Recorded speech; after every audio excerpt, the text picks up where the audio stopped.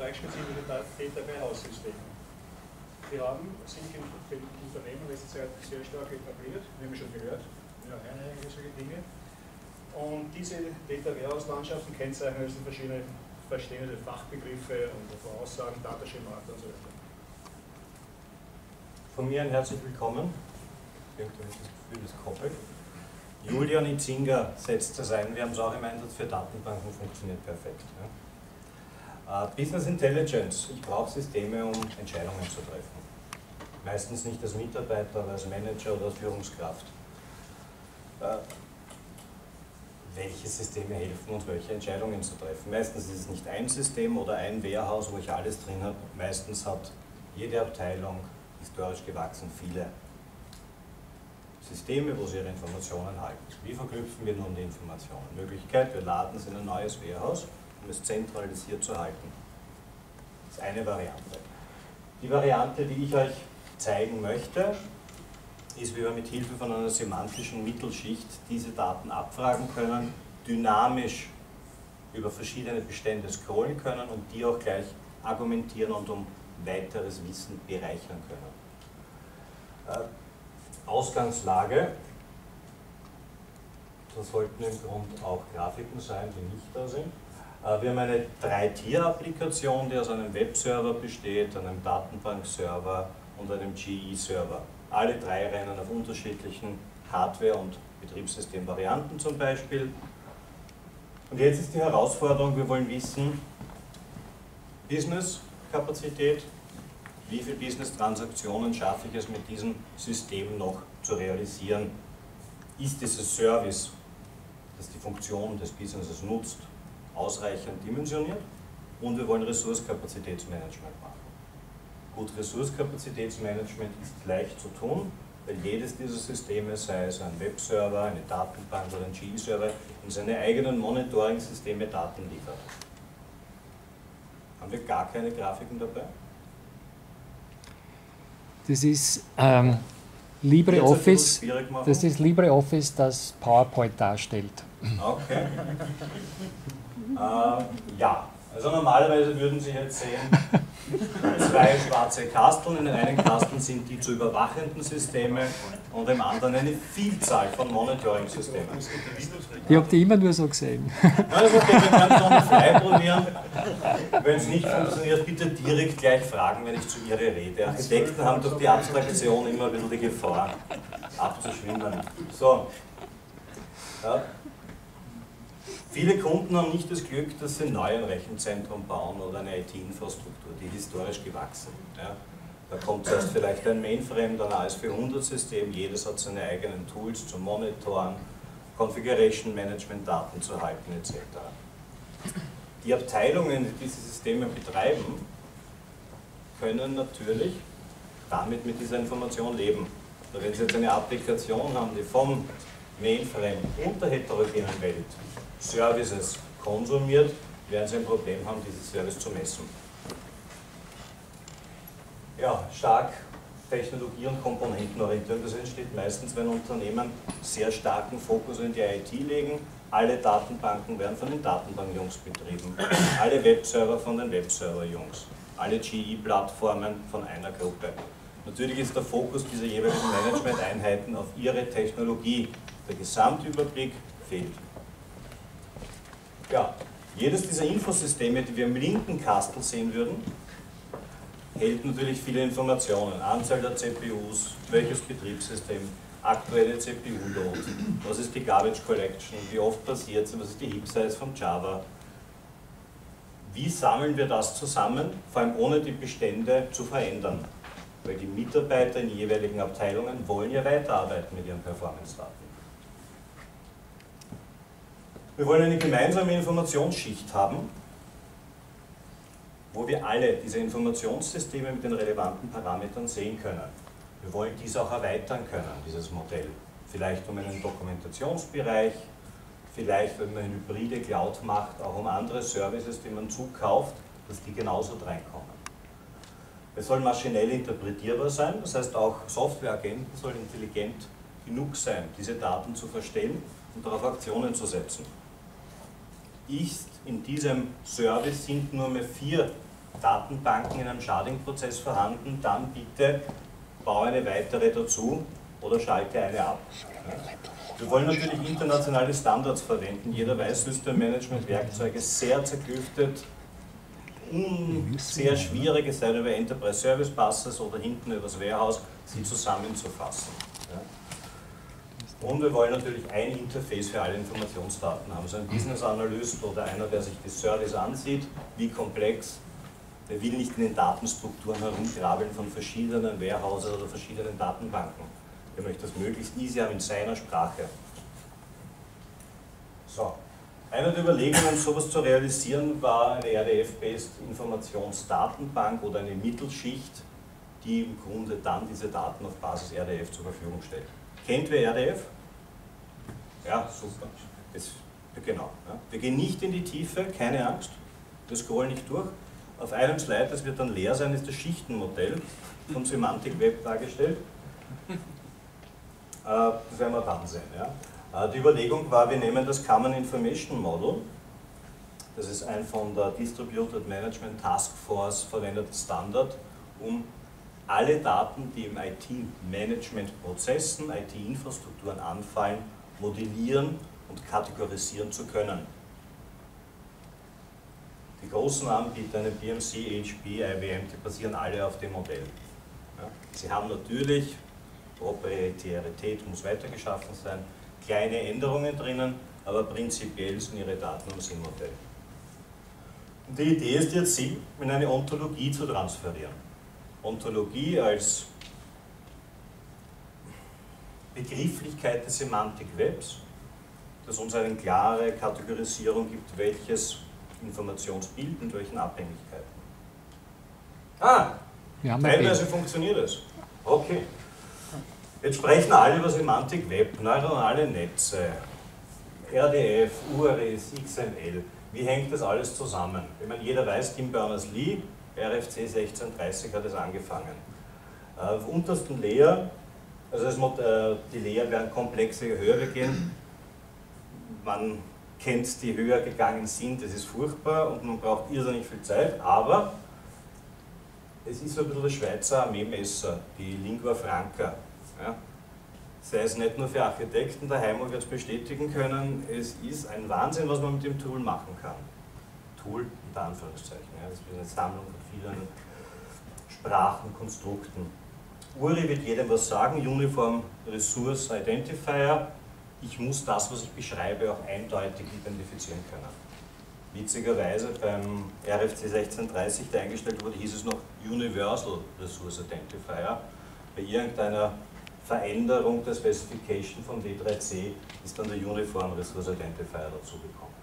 Auf der nächsten Ebene haben wir schon RDF. RDF ist ein steht für Resource Description Framework, ist ein Rahmenwerk für Metadaten. Besteht klassisch aus Subjekt, Prädikat und Objekt. Was beschreibe ich, welche Eigenschaft hat es und welchen Wert hat es? Kommt dann noch ins, hoffentlich noch eine Grafik, wir es leichter haben. Auf der nächsten Ebene haben wir schon die klassischen Rules, die kann ich abhandeln mit Wenn-Dann-Anweisungen, kann ich mir das vorstellen. RDFS als Schema für RDF, um einer genaueren Sprache Spracheindeutigkeit garantieren zu können, so wie XML Namespaces. Also XML hat ja auch eine freie Möglichkeit von Auszeichnungselementen. Also wenn Sie international die gleiche Auszeichnungselement hätten für eine andere Bedeutung, wäre es ein Horror. Da gibt es die Namespaces, die im Grunde definieren, in dem Namespace heißt slash Monat wirklich das Monat. In einem anderen Namespace würde slash Monat monatliche Abrechnung heißen. Unifying Logic setzt sich zusammen aus RDFS und RIF und das bezeichnet so die ganze Business-Logik, auf der ich aufsetzen kann. Um OWLs, wo es von OWL Full, Light und Medium, glaube ich, gibt, und RDFs abzufragen, gibt es eine eigene Abfragesprache, SparkQL.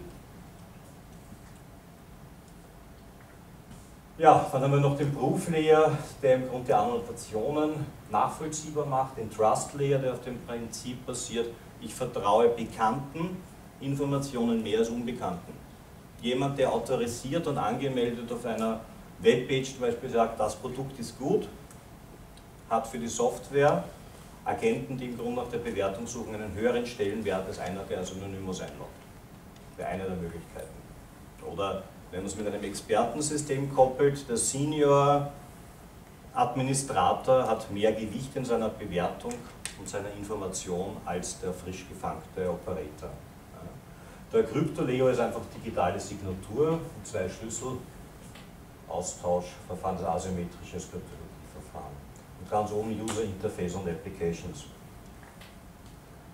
Äh, wir haben über den RDF-Graphen gesprochen. Die Graphdarstellung ist die äh, grafisch basierte Darstellung.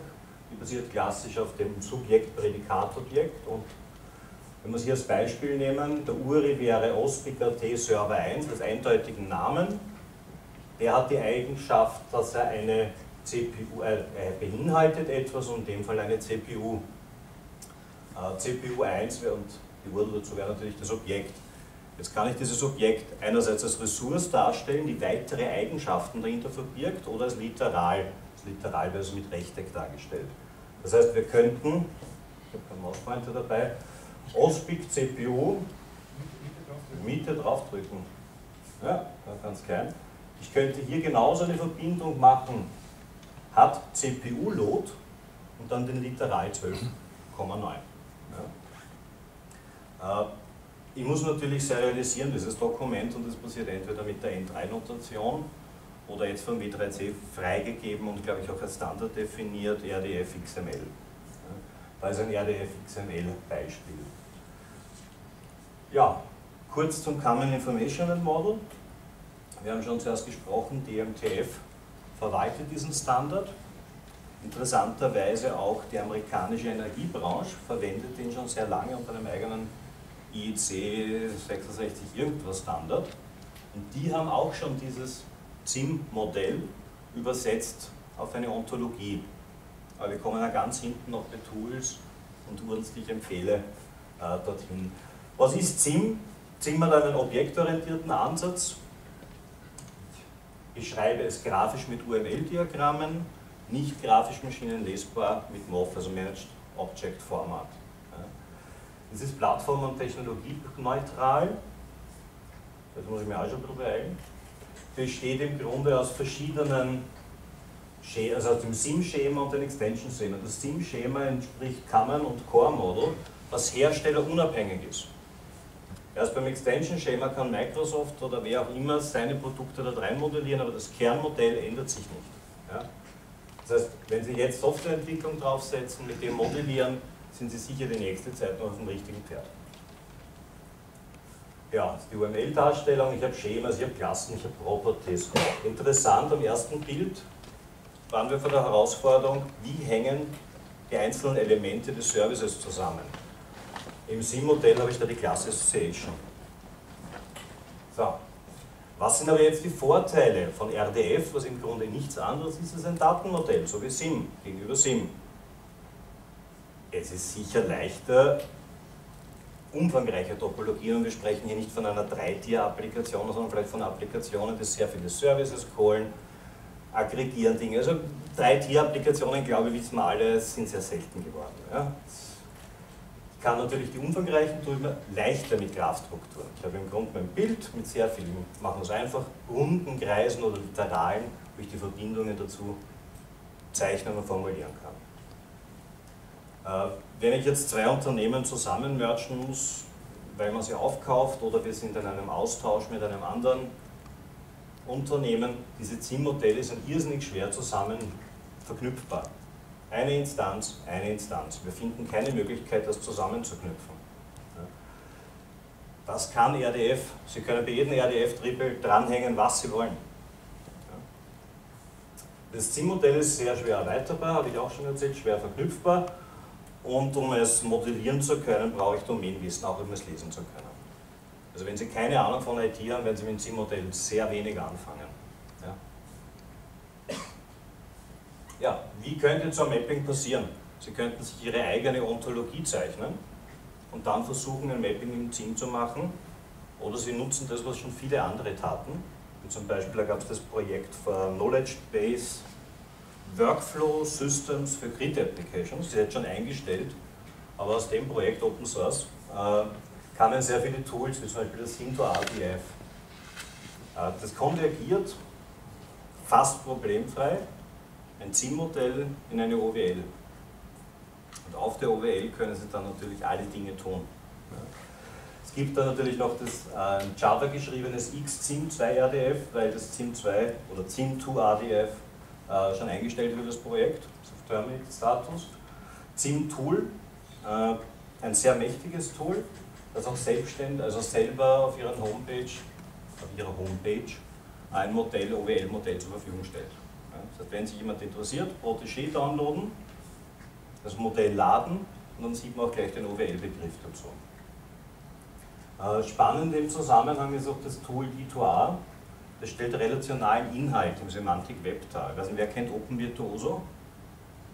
Okay, einmal frage ich nicht. Äh, Sie haben viele relationale Datenbanken. D2R stellt im Grunde einen SparkQL Endpoint zur Verfügung. Das heißt, er connectet sich gegen bestehende Datenbanken. Die mappen Sie in RDFs. Vereinfacht, wenn ich falsch sage, korrigiere mich bitte. Und Sie können dann wirklich über ein semantisches Intraweb durch die Baumtopologie durchscrollen. Das ist sehr nett, das ist von der Freien Universität Berlin. Das ist ein sehr nettes Tool. ISAVIS ist ein Tool, um RDF-Dokumente zu bearbeiten, ist von der W3C zur Verfügung gestellt. Äh, ja, jetzt wird man die Auflösung sehen. Wir haben natürlich viele Möglichkeiten, diese, nennen wir es Informationsstores, die Warehouses der verschiedenen Abteilungen abzufragen. Eine Möglichkeit, wenn die Datenbanken dort oder die Tools dort schon SparkQL Endpoints benutzen, sehr empfehlenswert von der HP Labs Open Source, Jena das ist ein Semantic Web Framework, da ist fast alles dabei, was man brauchen kann. Ich kann es in Memory halten, die RDFs, ich kann es mit SDP in eine PostgreSQL speichern, ich kann es mit TDB in einen anderen Triple Store speichern. Sehr, sehr mächtig. Ist wie Sesam und OpenVirtuoso eines der, sagen wir mal, Semantic Web Frameworks, die sehr spannend sind. Wenn ich keine SparkQL Endpoint habe, das heißt, ich kann nicht abfragen mit SparkQL, kann ich mit D2A mir so einen Endpoint schaffen. Das heißt, ich map die relationalen Tabellen, die für mich interessant sind und stelle sie mit D2A dann als SparkQL-Abfragen zur Verfügung. Warum SparkQL? Machen Sie eine SQL-Abfrage über, zeige mir alle Server, die eine Datenbank mit Oracle 10G besitzen, die auf dem Betriebssystem Red Hat laufen, in den WLAN glaube ich, selbst wenn Sie gut programmieren, werden Sie sehr viel Inner Joins verwenden. Und SparkQL sind es sechs Statements. Mächtig, wirklich mächtig. SparkQL kann nur readen derzeit. Der Update, Delete und Insert ist jetzt in Ausarbeitung als Draft. Aber wirklich absolut mächtig und wirklich das Schöne ist, die Output-Formate XML, JSON, ADF und HTML. Unglaublich nett. Äh, ich glaube, das stimmt, ja genau. Was hätten wir jetzt geschaffen, oder was haben wir geschaffen, aber jetzt nicht bildlich dargestellt ist? Alle unsere Infostores, die die Applikationslandschaft bewirtschaften, erweitert um eine semantische Schicht, damit ein Business Analyst mit einem HTL-Browser drüber gehen kann, mit Brown Source von der AB auch, ein RDF durchbrausen kann, das Dataset, und die Values von den verschiedenen Stores abfragen. Auf dem Output kann ich natürlich die ganzen Aktionen, Softwareagenten draufsetzen und sagen, mach mir das und das, wenn das eintritt. Sehr mächtiges Werkzeug. Und jetzt werden viele sagen, boah, Wahnsinn, Architekt, ich habe keine Ahnung von der Realität. Gibt es. Es gibt ein ganz witziges Startup, FluidOps, die komplett ein Cloud-Management-Tool geschrieben haben, was natürlich auch im Private Cloud-Umfeld einzusetzen ist, das auf RDF-Technologie basiert wirklich sehr, sehr spannend. So, ich glaube, ich bin ein bisschen in Time noch. Die Liste mögliche interessante Tools. Bei der W3C finden Sie natürlich das meiste, sehr gut gesammelt. RDF-Syntax, dann der SIM DTMF-Standard und der D2A Server der Freien Universität in Berlin. Spannend ist auch die Überlegung, wenn Sie sich andenken, SNMP kennt jeder, SIM vielleicht noch nicht. Die Beschreibungssprache für SNMP und die MIP Database ist SMI. Auch dieses Datenmodell könnten Sie transformieren in OWL. Das heißt, theoretisch haben Sie damit die Möglichkeit, Stärken von SNMP zu koppeln mit den Stärken vom ZIM-Modell. Und Sie brauchen Ihre bestehende Landschaft noch nicht angreifen. Wenn Sie sie neu bauen, Web-Based Element Management als Standard, der basiert auf dem ZIM-Modell und damit hätten Sie fast alles fertig, um eine fertige Ontologie für Ihr Unternehmen zu haben und durch die Infrastruktur scrollen zu können, zu navigieren in Baumstruktur oder über Knoten. Ja, jetzt werden viele natürlich sagen, ah, gibt es auch kommerziell natürlich zu kaufen, die großen Suiten, sei es eine drei Buchstaben oder zwei Buchstaben herstellt, also HP oder IBM, bieten auch schon SparkQL-Adapter für ihre UCMDPs oder normalen CMS-Systeme an. Das gleiche Thema, was der Julian gesagt hat, ich brauche natürlich die verschiedenen Zustände, die verschiedenen Daten der Disziplinen, um Configuration Management, Kapazitätsmanagement, Incident, Problemmanagement gemeinsam machen zu können. Ich brauche auch dort meine Knowledge-Dokumente drinnen. Wie reagiere ich darauf? Das Incident kommt rein, ich möchte wissen, was ist der Fehler? Ist er Non-Error, ist er nicht Non-Error? Mit einem normalen Warehouse werden wir da irgendwann nochmal scheitern. Glaube ich. Ja, ja danke.